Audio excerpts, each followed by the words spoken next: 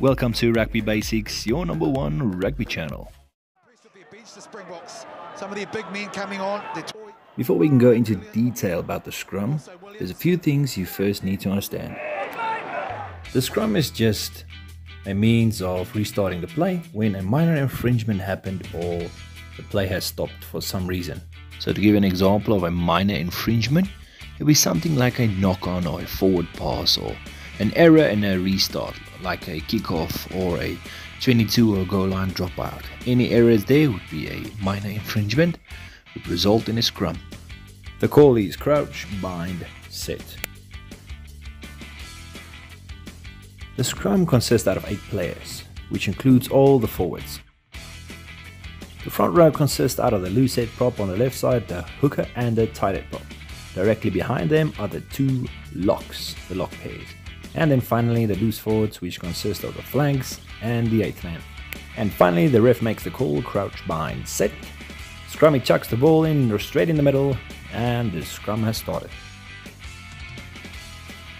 As the front rows approach the scrum, they should not be more than an arm length apart from each other. The two props then have the option to bind anywhere underneath the armpits or above the hips.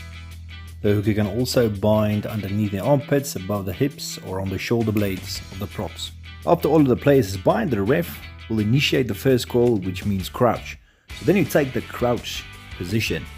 This just means your head is facing upwards and your eyes are open, ready to scrum. Now the front row's heads must go to the left side of the opponent in front of them starting with the loose head prop. The front row must also make sure that their hips and knees are bent slightly and that their shoulders and is not lower than their hips. Spine in line, so making sure your back is straight. So now the second call is bind, so crouch bind, which means that the props will bind with the outer arms on top of the other props. The loose head prop will always bind underneath the tight head prop on his side or on his back. The tight head prop will always go with his right arm over the, the loose head prop's arm to bind on the loose head prop's back or side. The prop should not grip the other prop on the chest, arm, sleeve or on the collar. Ideally, the position of every player's hips, shoulders and feet should be square, meaning parallel, facing forward. Then finally the ref will call set, which means that the props and the hooker will lock heads and then wait for the scrum to stabilize before the scrummy can throw the ball in and the team can push their scrum forward.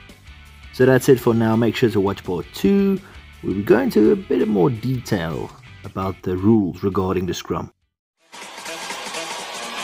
Talk